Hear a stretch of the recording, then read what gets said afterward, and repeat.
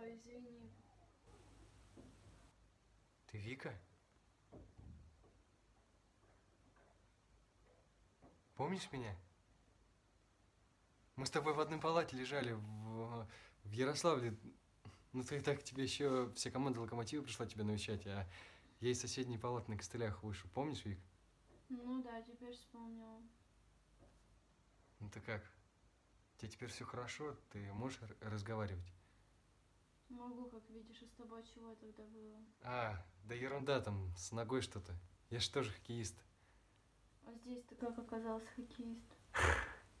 Я сюда на товарнике приехал, потому что у меня денег совсем нет. И какой-то сумасшедший решил меня обокрасть, забрал мой плакат и побежал. А я за ним, а, прихожу, а поезд уже уехал.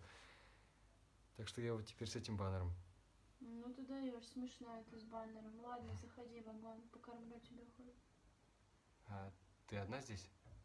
Одна, не бойся, мама за меня, заболела она. Я и не боюсь. Ты чего? Ничего.